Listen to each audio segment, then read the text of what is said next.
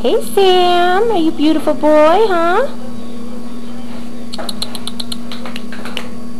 Oh, handsome.